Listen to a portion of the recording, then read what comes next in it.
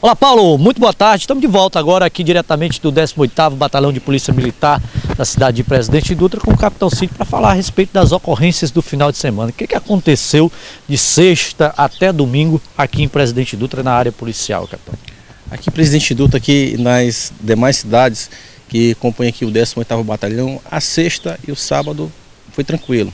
Tivemos é, ocorrências que, que que demandaram uma, uma, uma força policial constante. Mas no domingo tivemos três casos é, envolvendo mulheres.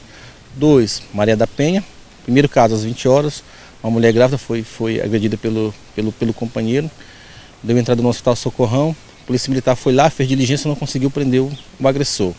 Logo após esse, esse, esse, esse fato, um outro caso também de mulher chegando lá, solicitando socorro, é, é, é, hospitalar, é, dizendo também que fora vítima de, de, de, de, agressão.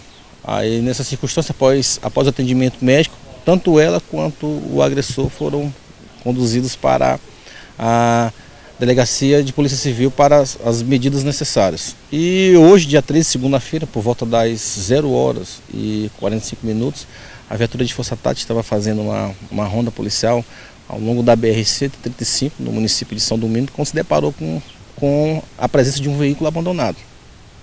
Ao abordar esse, esse, esse, esse veículo, é, os policiais ouviram gritos de, de, de, socorro e ao encontrar essa pessoa que, que, que estava solicitando socorro, se deparou com uma mulher e ela relatou aos policiais, bastante nervosa, que estava sendo vítima de, de, de estupro. Aí, devido à presença da polícia naquele local, o, o, o agressor fugiu, a guarnição fez, fez é, é, incursões na mata para tentar prender, mas infelizmente não foi possível. Foi confeccionado um boletim de ocorrência, informada a delegacia e hoje a mulher que fora vítima, devido, devido ao estado de nervosismo, é, disse que ia hoje pela manhã também registrar a ocorrência, relatar é, sobre a, as circunstâncias do, do, do, ocorrido. Capitão, a gente obteve informações que as pessoas estão tentando ligar no 190 e não estão conseguindo, não estão conseguindo. O que está acontecendo? A gente está informando para a população que o serviço 190 está inoperante, não funciona mais. Então a gente pede para as pessoas, quando